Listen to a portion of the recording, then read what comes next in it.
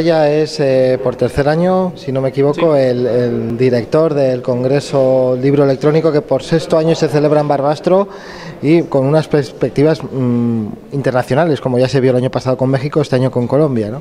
Sí, el año pasado viajamos a México y este año como país invitado tenemos Colombia, que después de México es el segundo país eh, más importante en América Latina en mercado digital y lo que queremos es que los editores, libreros y bibliotecarios de España eh, conozcamos un poco mejor ese mercado para que, si nos interesa, poder exportar eh, nuestros contenidos digitales a ese mercado.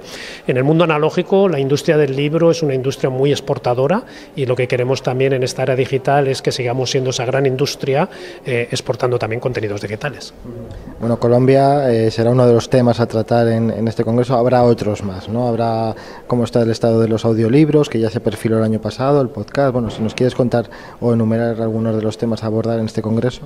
Sí, este congreso, como sabéis, eh, tiene una duración de dos días y medio y da para mucho, aunque siempre se nos queda corto, ¿no? porque hay muchos temas eh, de máximo interés y actualidad en el sector.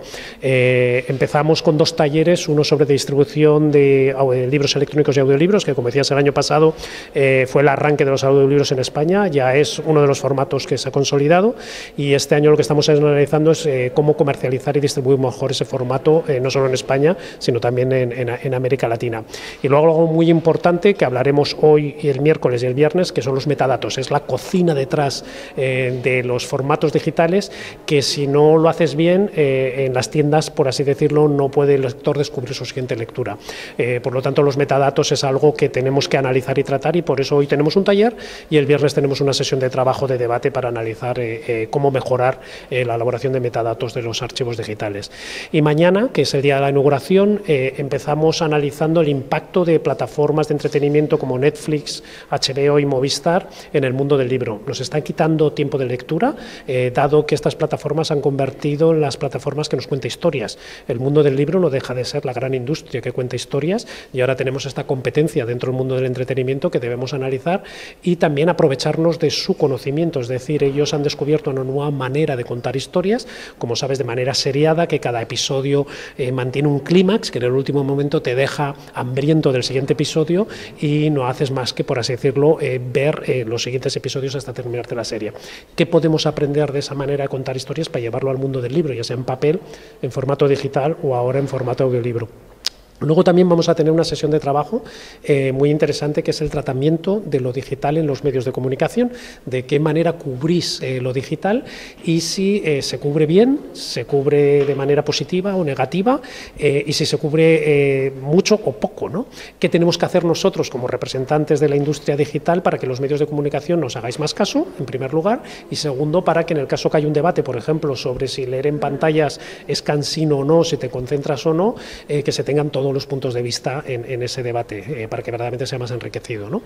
Eh, luego, como hemos dicho, viajaremos por la tarde a, Colombia, pero antes tenemos una de las secciones que a mí como emprendedor más me gustan, que se llama eh, la sesión de Reimaginando el mundo del libro. aquí la innovación en Barbasto tiene premio, porque este es un premio que otorga la Diputación de Huesca y es un premio a la innovación digital en el mundo del libro y todos los años se descubren 10 proyectos. Desde el año pasado que empezamos a cruzar el charco, establecimos que cinco proyectos son de España cada año y otros cinco proyectos son del país invitado. Por lo tanto, este año tendremos cinco proyectos colombianos y tendremos cinco proyectos eh, de España. ¿no? Y como te digo, para mí es una de las sesiones que más orgullo como emprendedor porque eh, darle esa tribuna en el auditorio de la UNED a estos proyectos para que tengan sus cinco minutos de gloria para mostrarte ante el sector y dar a conocer tu proyecto, yo creo que es eh, algo que aporta mucho valor a los emprendedores.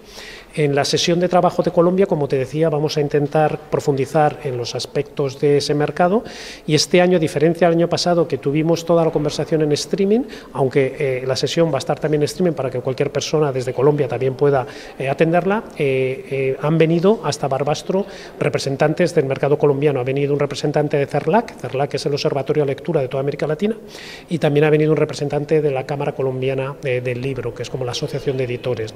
Y esto es muy importante porque Barbastro desde Colombia está muy lejos. Yo he cruzado este año el Atlántico siete veces y te puedo asegurar que estos viajes de 13 horas de duración eh, es un esfuerzo económico y personal que es de muy de agradecer por parte de la organización que estas instituciones hayan venido hasta nuestro Congreso.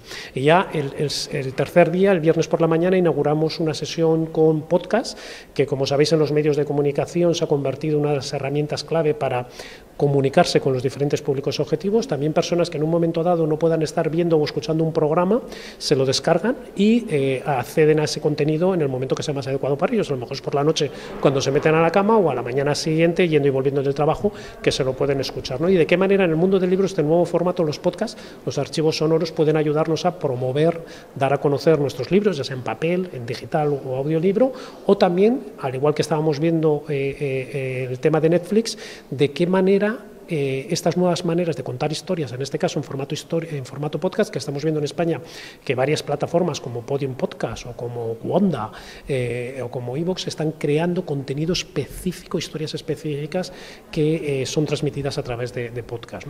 ¿Qué podemos aprender en el mundo del libro de ellos? Luego tenemos una sesión muy, muy interesante que es quién está al otro lado de la pantalla. en el mundo del libro físico, el sector está ciego, no sabe quién está comprando el libro, no sabe si lo ha terminado o no eh, no, sabes si lo ha regalado a otra persona o no, En digital sí podemos tener un rastreo y gracias a eh, la contribución de seis plataformas en España que hoy en día comercializan contenido digital, audiolibros y libros electrónicos, han aportado sus datos de manera agregada y eh, han dado cabida a que tengamos un retrato robot del perfil del lector en pantallas en España. Y a mí me parece verdaderamente que por primera vez en España se haya conseguido esto es muy, muy importante. Y como clausura, por primera vez en los congresos de Barbastro viene una persona eh, no de origen español ni, de América Latina, es una persona del mundo anglosajón, es una experta en tecnología que ha trabajado en grandes compañías como Amazon, como Yahoo, como Google, es Ian Hyatt, que ha trabajado mano a mano con personas tan importantes como Jeff Bezos o Eric Smith y que va a hablar por primera vez en España y esta mujer nos va a intentar dar un poco más de luz de qué manera piensan, cuál es la cultura corporativa de estos grandes gigantes tecnológicos para que nuestras relaciones con ellos nos entendamos mejor. Para lo bueno y para lo malo dependemos eh, de ellos, pero a la vez también son eh, eh, nuestros posibles competidores, por así decirlo. ¿no? Entonces, saber cómo funciona su cómo trabajan, yo creo que ayudará a los profesionales del mundo del libro a entenderse mejor con estos grandes eh, monstruos tecnológicos. Muy bien, muchas gracias por atendernos, Javier, y buen congreso. Muchas gracias.